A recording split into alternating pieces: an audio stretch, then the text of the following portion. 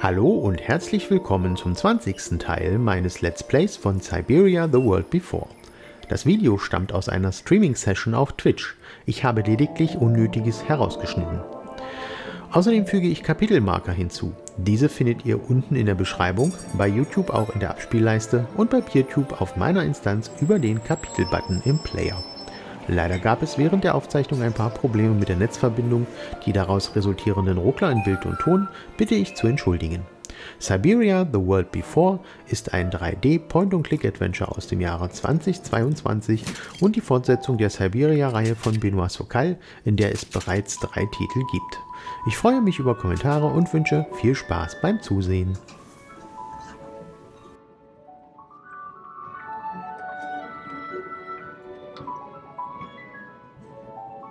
Genau, dann willkommen zurück zu einer weiteren Folge mit dem Spiel Siberia The World Before. Wir befinden uns in,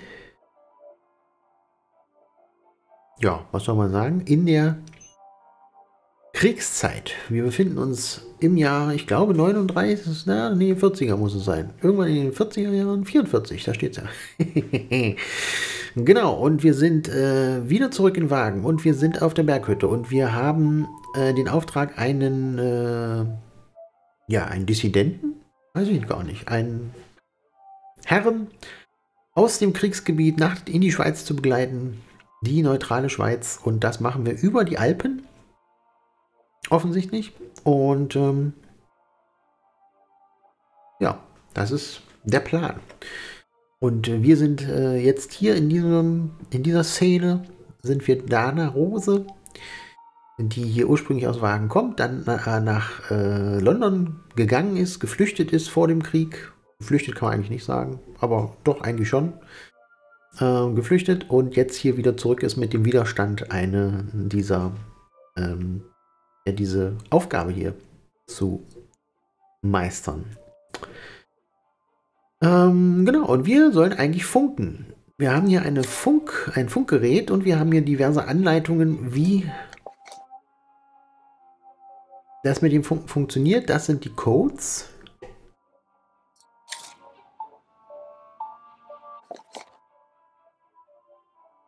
To be in touch with the office, use the table below. You will receive your code at the frequency set by your contact code. Um eine Nachricht über Funk zu empfangen, nutzen Sie bitte unten stehende Korrespondenztabellen. Der Empfänger des Briefes erhält seinen Code auf der Frequenz, die durch den Kontaktcode hergestellt wird. Hm.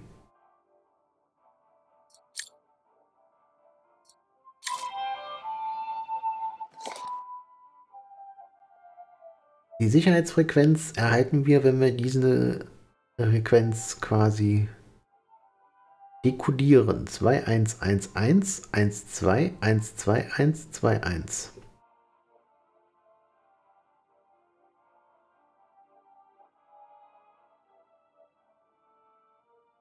So, Appendix. Ist das der Appendix? Nee, das ist der Appendix.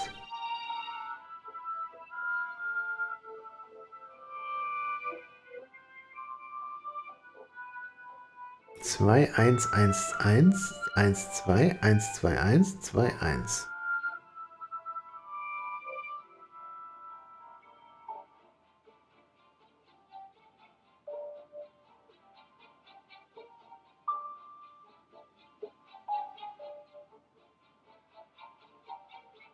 Hm.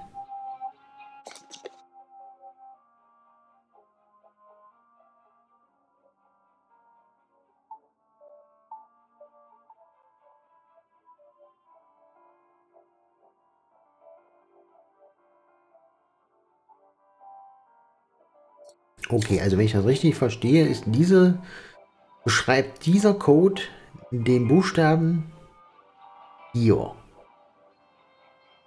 Also jedem, also das, diese Striche würden ich behaupten, zeichnen diesen Code ab. Das heißt 2111 müsste dann da dit, dit, dit sein. Oder dit, da, da, da. Aber was jetzt hier am plausibelsten scheint, Zumindest anhand der Sachen, die wir sehen können. ist ein B, oder? Ein B. Dann kommt 1, 2. Also wenn 2 ein langer Strich ist und 1 ein kurzer, dann ist 1, 2 ein Punkt und ein Strich. Und das ein A. BA. Haben wir ein Wort, das mit BA anfängt? Ja, 2. Dann 3 sogar. Dann müssen wir weitermachen. 1, 2, 1. Also kurz, lang, kurz. Kurz, lang, kurz ist ein R. Bar. Und 2, 1 ist dann lang, kurz. Lang, kurz ist ein N. Barn. Barn haben wir auch drauf, ist die Frequenz 6,9. Also gehen wir doch mal sehr stark davon aus, dass ich hier im Empfänger die Frequenz 6,9 einstellen darf.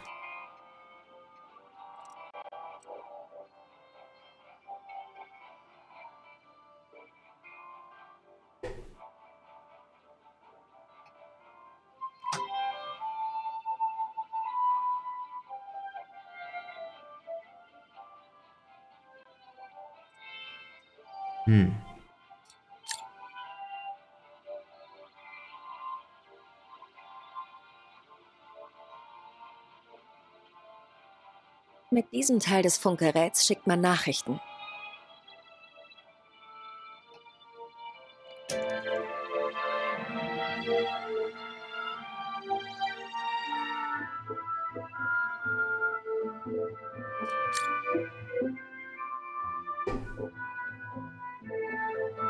Das falsch verstanden? Basically decipher the content code below. Und dann soll man die Frequenz, die ja 6,9 ist, im Empfänger einstellen. Würde er behaupten? Habe ich gemacht.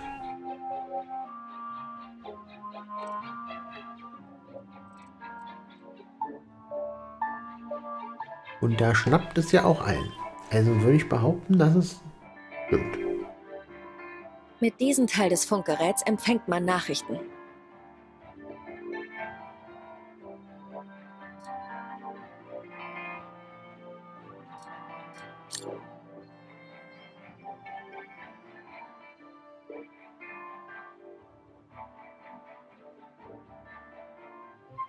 Ach so, ja. Und jetzt können wir hier einfach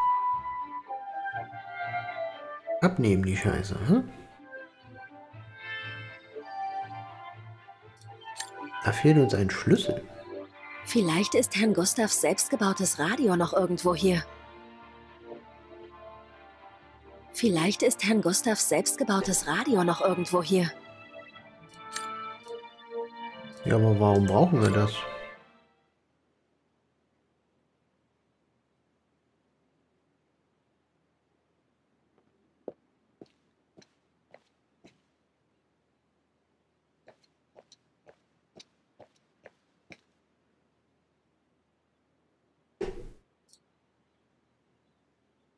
Herrn Gustavs Klavier.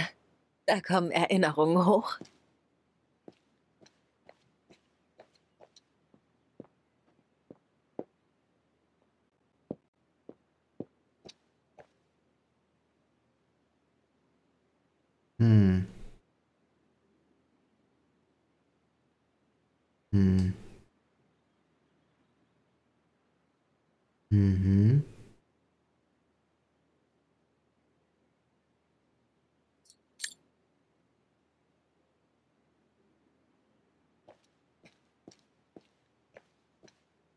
Es könnte natürlich auch oben sein. Warum hat Herr Gustav die Hütte verlassen? Haben die braunen Schatten ihn gezwungen?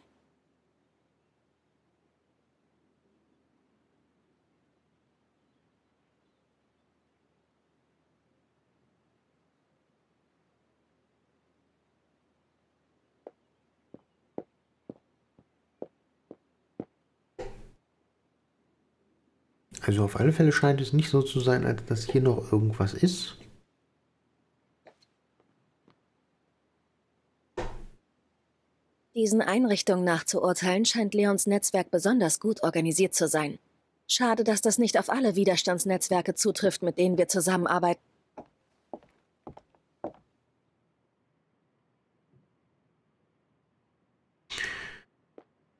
Äh, eine Waffe? Können wir nach oben gehen?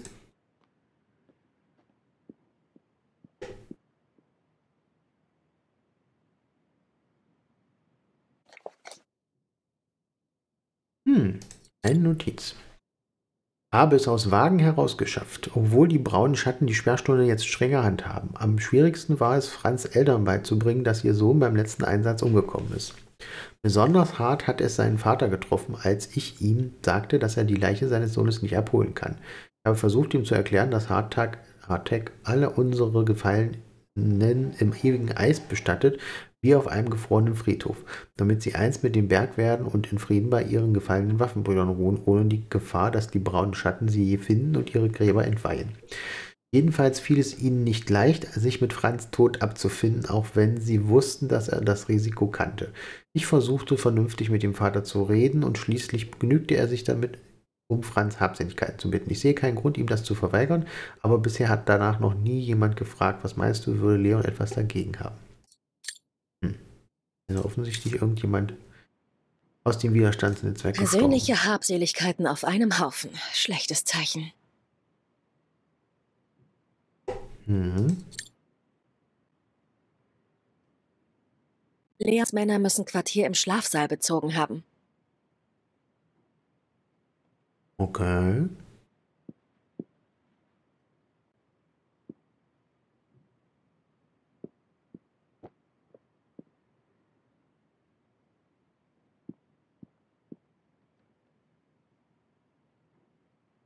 Ja, dann gehen wir noch mal nach oben.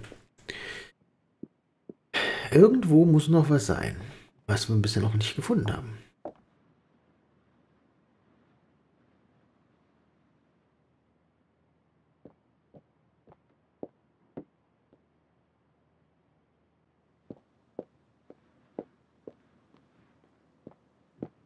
Juntas Versteck. Ich bezweifle, dass ich hier etwas finde, um das Funksignal zu verstärken.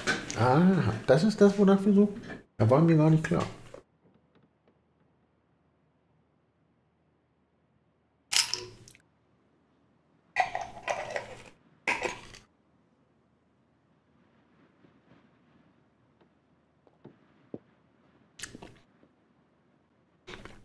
Ja, das sieht doch noch eher nach einem Radio aus. Herrn Gustavs altes Radio. Ich erinnere mich an die vielen Sommerabende, die wir damit verbracht haben, Hörspielreihen zu lauschen. Mhm.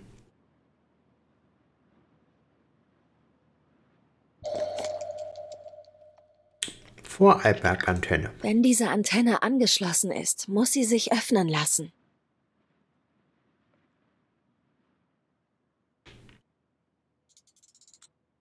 Es muss etwas anderes geben, was ich da einstecken kann.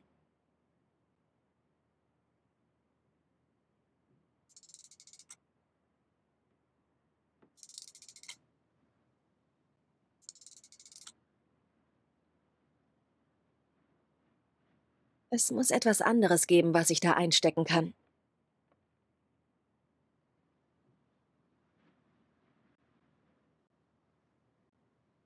Wenn diese Antenne angeschlossen ist, muss sie sich öffnen lassen.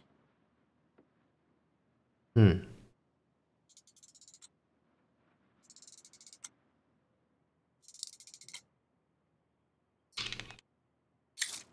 Ja, nehmen wir das doch mit.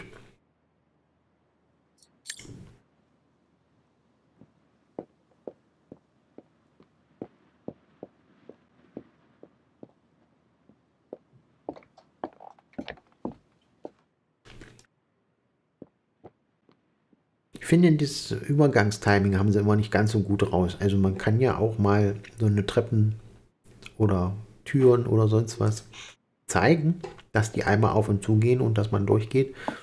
Aber dass zum Beispiel hier jedes Mal angedeutet wird, dass sie die Treppe runtergeht.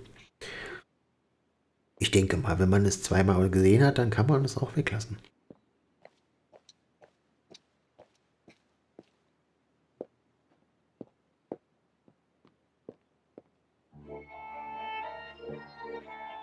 So.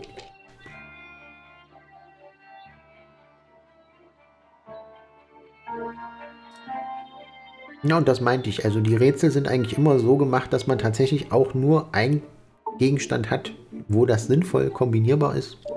Man muss nicht so wahnsinnig Das sollte das Signal verstärken. Perfekt.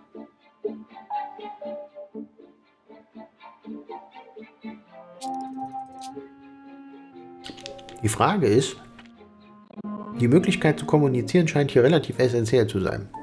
Man kann sich doch nicht darauf verlassen, dass irgendwo dann so ein Gerät rumsteht, um die, An äh, die Antenne zu verstärken. Man würde ja annehmen, es geht auch ohne.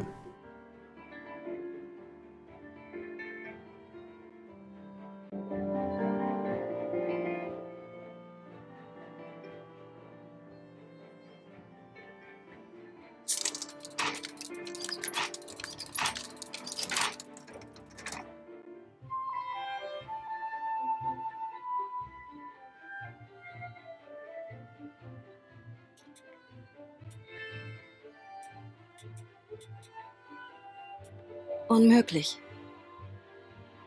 Hm?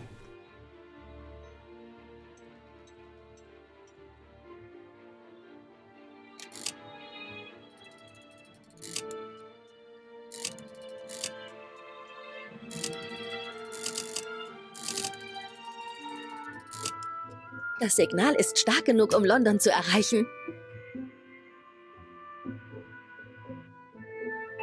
Ich muss die Frequenz richtig einstellen, um London zu erreichen.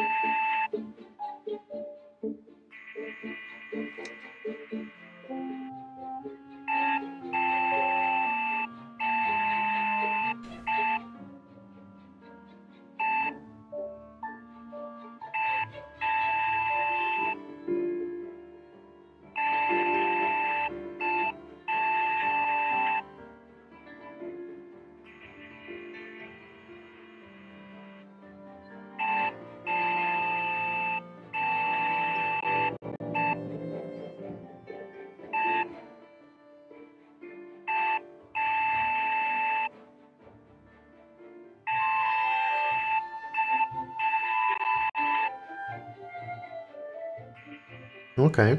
Glaube, ich krieg's raus, ja.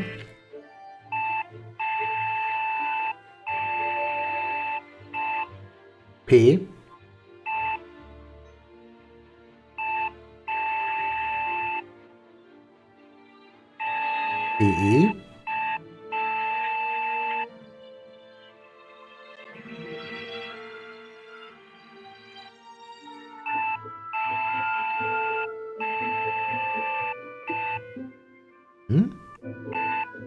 Ist nur ein ein E.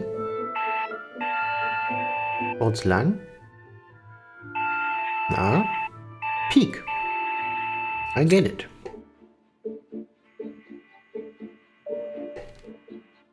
Peak. Ist 8,4.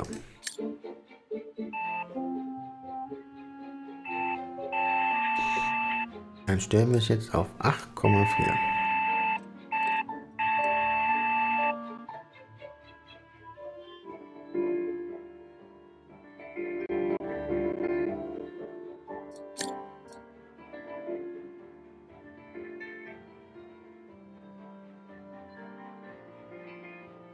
Ich muss die Frequenz richtig einstellen, um London zu erreichen. Ich dachte, das hätte ich jetzt damit getan.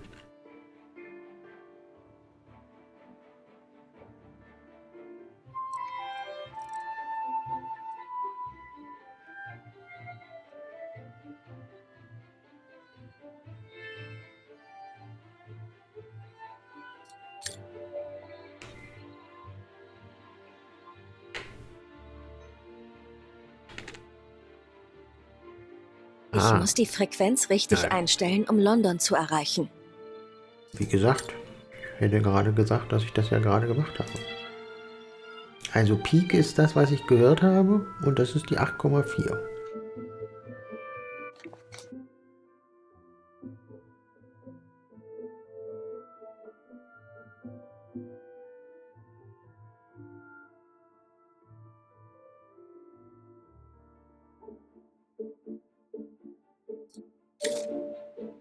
Also muss ich das oben wieder zurückstellen?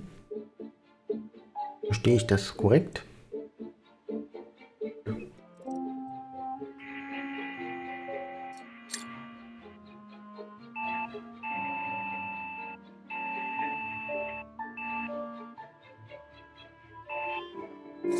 Ah, okay. Das habe ich nicht gedacht. London, bitte kommen. London, hören Sie mich? Over. Kontakt hergestellt. Paket sicher angekommen. Wiederhole. Kontakt hergestellt. Paket. Auf gar keinen Fall. Ohne Sie bewege ich mich keinen Schritt. London auf Empfang bleiben. Over. Was ist los? Sagen Sie London, ich gehe nicht ohne meine Frau. Herr Exner, hören Sie, ich. Nein, Sie hören mir zu. Andrea ist meine engste Mitarbeiterin. Für die englischen Kriegsanstrengungen ist sie genauso wichtig wie ich. Sie befindet sich gerade im Wagen unter falscher Identität bei Freunden versteckt.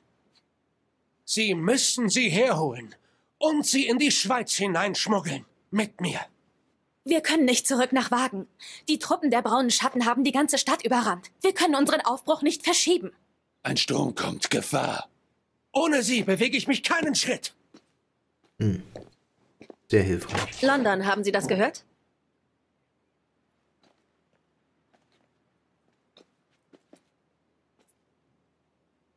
Verstanden. Over and out.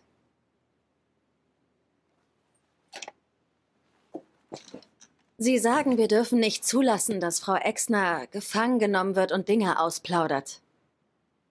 Worauf warten Sie da noch? Schicken Sie jemanden, der sie holt.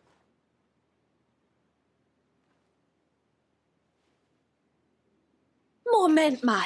Du willst doch nicht, dass ich... Tut mir leid, Leni, wir haben keine Wahl. Ludwig kann sich in Wagen nicht sehen lassen und ich muss alles vorbereiten, um sie morgen über den Teufelskragen zu bringen.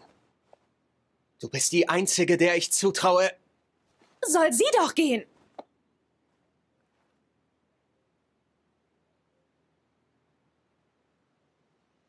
Hm. Hm.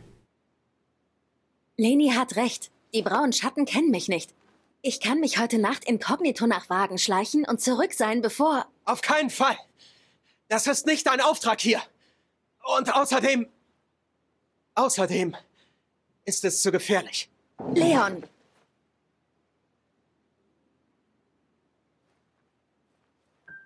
Na gut. Ich gehe. Leni, warte!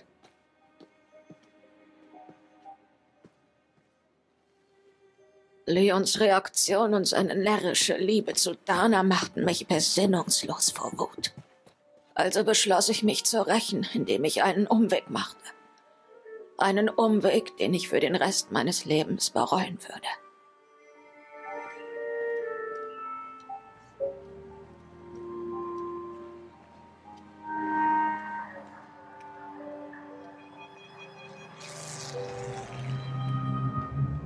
Haben Sie getan? Ich schloss einen Pakt mit dem Teufel.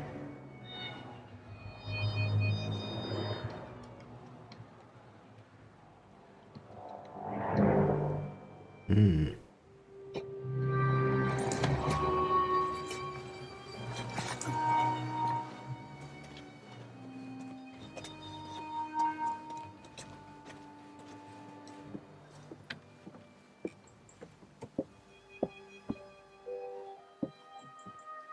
Hätte niemand verletzt werden sollen. Ich schwöre es, wirklich, Fräulein. Ich wollte nicht, dass Leon mich für immer verlässt. Zusammen mit ihr.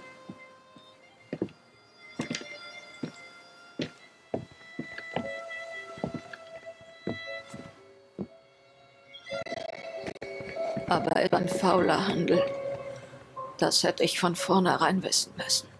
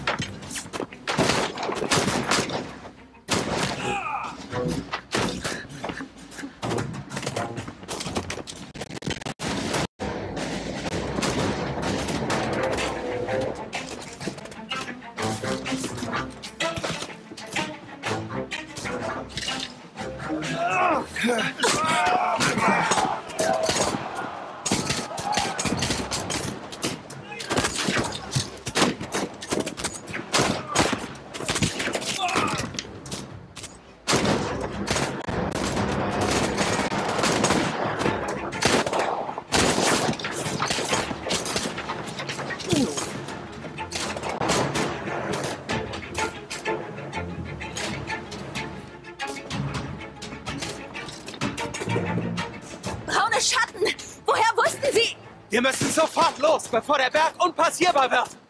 Bei dem Wetter über den Pass bist du verrückt. Wir haben keine Wahl, Leni. Entweder das oder wir fallen den braunen Schatten in die Hände. Und wir wissen beide, was das bedeutet. Wir müssen hier bleiben, um Leon so viel Zeit wie möglich zu verschaffen.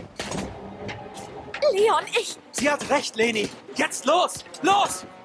Komm! Lana! Nein, mach es nicht noch schwerer, als es ist. Lana!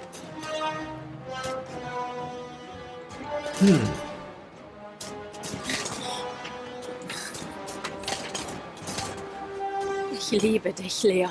Ich liebe dich auch mehr als alles auf der Welt.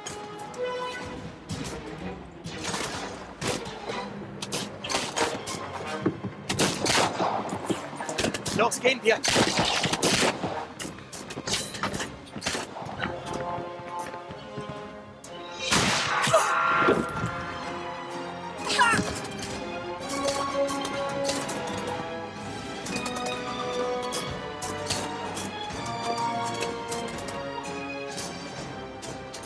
Nicht wahr? Aber das Schlimmste sollte noch kommen.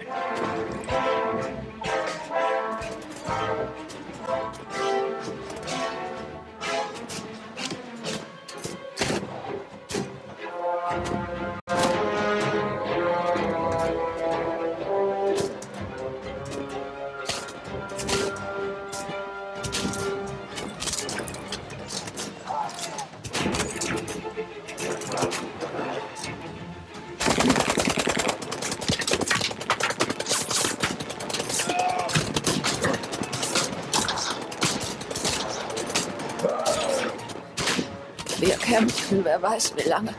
Lange genug, dass Leon die Zivilisten zum Fuß des Teufels Abends konnte.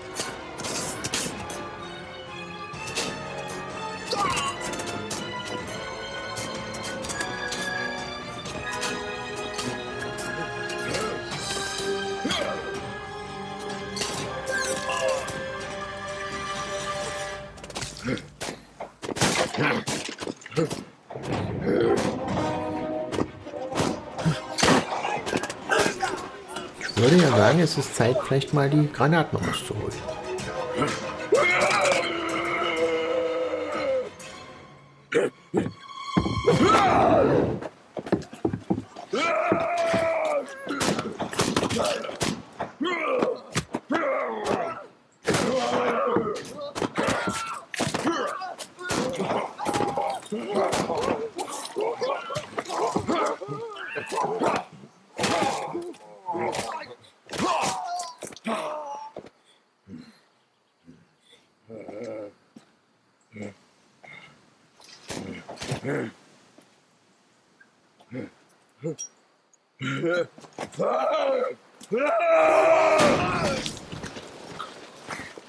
hätten sie aber auch schon vorher machen können.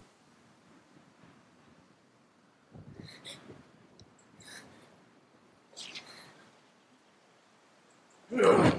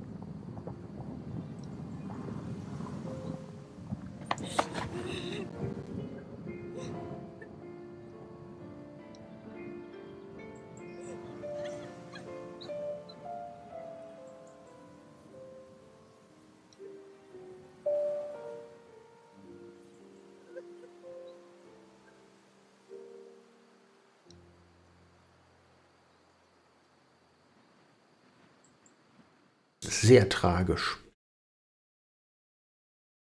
Das wäre also alles nicht passiert, wenn sie nicht die verpfiffen hätte. Ludwig sucht seit jenem Tag nach Leons Überresten. Aber erst die Erderwärmung hat die Leichen freigelegt. Und mit ihnen mein Verbrechen. Und genau da mussten sie auftauchen, Fräulein. Leni. Oh, Ludwig, kannst du mich hier Herr Ludwig, bitte! Lassen Sie ihn. Ich habe es verdient. Bringen wir es hinter uns, Fräulein.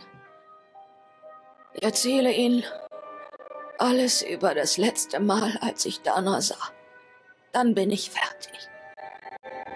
Okay, ich höre. Es war ein Jahr nach Leons Tod. Unmittelbar nach der Befreiung Wagens. Hm.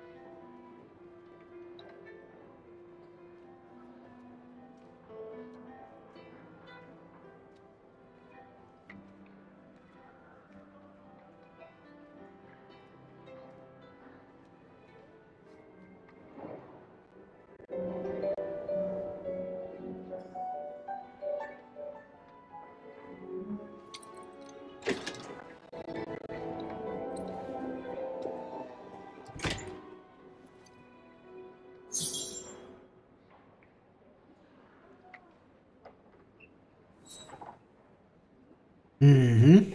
Okay.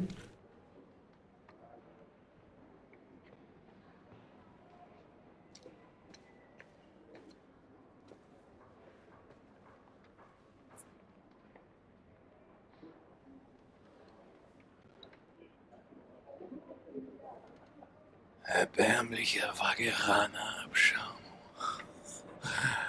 Ich würde man einfach nicht aus wie Flair auf einer Art. oh, ich war so enttäuscht, dass ich den nicht antraf, als wir das Haus deiner Eltern verwüsteten.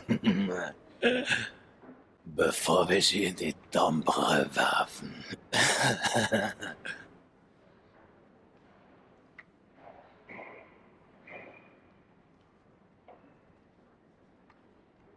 Ich wollte Ihnen nur sagen, was für ein erbärmlicher Mann Sie sind. Sie verdienen nicht einmal meinen Hass.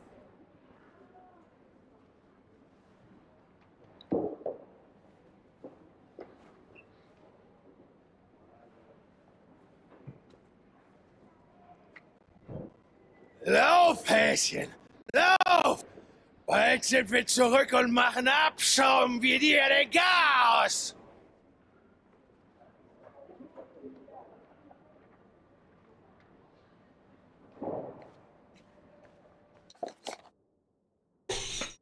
Wagen ist befreit. Wagener Patrioten besiegen braune Schatten und hissen Ostertaler Flagge über der Stadt. Ostertaler Patrioten haben heute gegen die Besatzer der braunen Schatten rebelliert und ihre Hauptstadt Wagen befreit. Während sich vor den Stadttoren eine Großstadtmacht der Alliierten sammelte, stürmten tausende belagerte Part belagerter Partisanen. Die Barrikaden der braunen Schatten überwältigten die feindlichen Garnisonen und hissten die Flagge des siegreichen Ostertals über der Stadt. Laut neuesten Berichten aus dem Hauptquartier stießen die Truppen der Alliierten nach erbitterten Gefechten mit den braunen Schatten und den Kollaborateuren der Wagener Miliz zu den Wagener Patrioten auf dem Musikplatz im Herzen der Hauptstadt. Ein sowjetischer Major ergriff auf der Bühne des Platzes zwischen den Automaten das Wort zu einer außergewöhnlichen Ansprache. Er verkündete, dieser große Tag der Befreiung wäre ohne die anhaltenden Anstrengungen so vieler Menschen, insbesondere einer sowjetischen Fabrik in der Stadt Komkolzgrad, nicht möglich gewesen. Diese zwischen der Ukraine und Kasachstan gelegene Fabrik konnte dank ihrer aus Automaten bestehenden Arbeiterschaft den Abbau und die Verarbeitung von Schwermetallen aufrechterhalten. Der Major fügte hinzu, es erscheint mehr als passend, dass der Schöpfer dieser Fabrik ein und derselbe ist, der auch diesen Musikplatz erschaffen hat, auf dem wir heute als freie Weltbürger stehen. Sein Name war Hans Vorarlberg. Der Wagener Radiosender bestätigte heute Abend, dass die Hauptstadt Ostertals befreit wurde und dass der Oberbefehlshaber der Braunen Schatten eine bedingungslose Kapitulation unterzeichnet hat.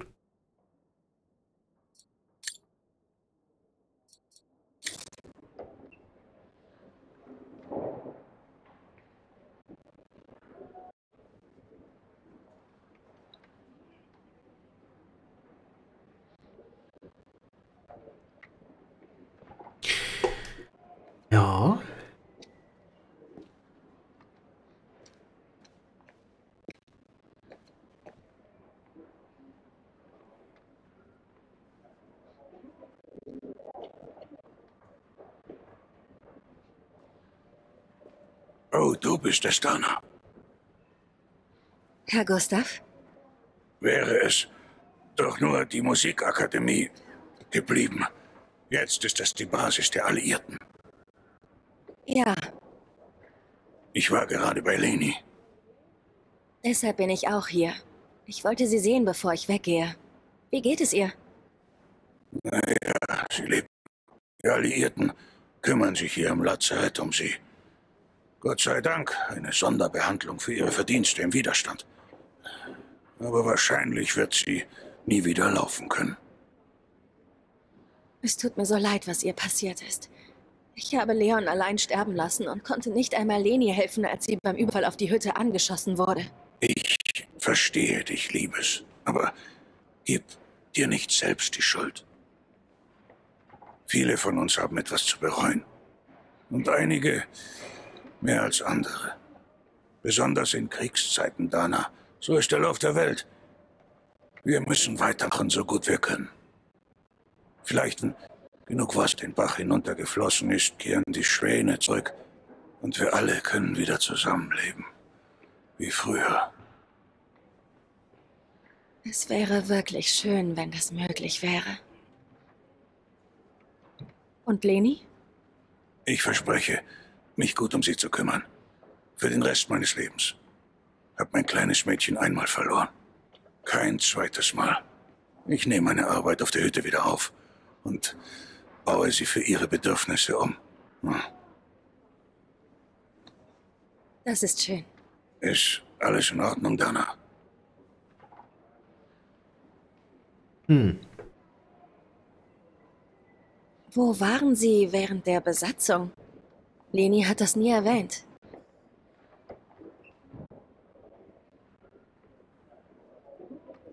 Wenn du es wissen willst, ich äh, wurde freigesprochen. Vom Militärgericht, Dana. Könnte etwas damit zu tun haben, dass ich der Vater einer Heldin bin. Aber ich wurde in allen Punkten freigesprochen. Oh, verstehe. Ich verstehe sehr gut, Herr Gustav. Einen schönen Tag noch.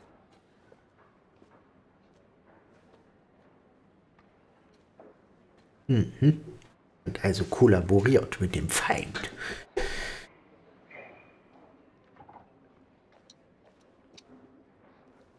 Herr Sauer? Ah, Fräulein Dana. Was tun Sie denn hier?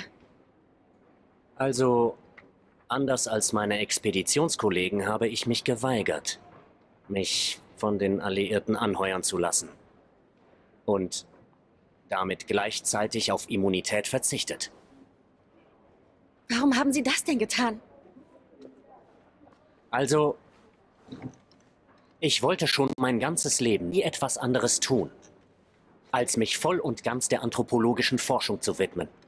Aber wenn ich eine Sache in Baltaja gelernt habe, dann, dass das nicht mal im Ansatz funktionieren kann, wenn man nichts anderes als eine Marionette irgendeiner Supermacht ist. Nicht einmal vorübergehend. Ich habe genug davon, Wissenschaft zu prostituieren. Also muss ich mich jetzt dafür verantworten, dass ich mich von den braunen Schatten habe finanzieren lassen. Verstehe. Es tut mir leid wegen Leon, Fräulein Dana. Ich weiß, sie standen sich nahe. Er äh, hat ständig von ihnen gesprochen. Tut mir leid, dass ich so so harsch war, als wir uns das letzte Mal sahen. Er war ein guter Mann. Ich vermisse ihn.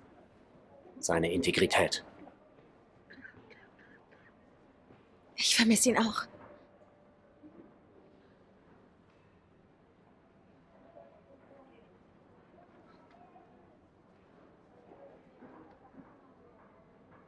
Herr Sauer. Ja, Fräulein Dana? Danke, dass Sie mir Leons Brief über die Ereignisse in Baltaja gegeben haben, trotz Ihres eigenen Kummers. Das beweist Ihre Ehrenhaftigkeit. Alles Gute für Sie.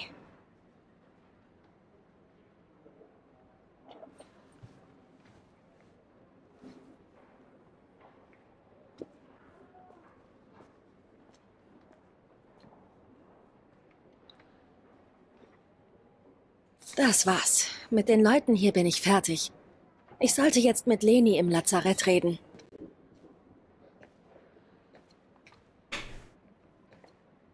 Na, dann schauen wir mal.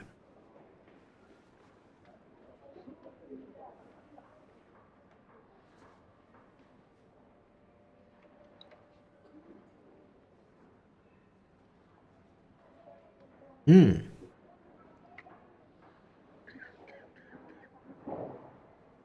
Das scheint irgendwie eine finale Entscheidung zu sein. Nun gut, in Anbetracht der Tatsache, dass jetzt auch schon wieder eine Folge um ist, werden wir wohl an dieser Stelle dann nochmal ein Päuschen einlegen und äh, ja, dann schauen wir mal, ähm, was sich hinter dieser Tür im Lazarett verbirgt und was dann noch passiert. Ähm, ja, dann bis zur nächsten Folge. Herzlichen Dank fürs Zuschauen. Lasst gern eure Meinung zum Video in den Kommentaren da oder klickt die entsprechenden Buttons. Das ganze Let's Play gibt es als Playlist auch auf YouTube oder PeerTube, wo ihr mir gerne folgen könnt. Die Links gibt's unten in der Beschreibung. Bis denn dann.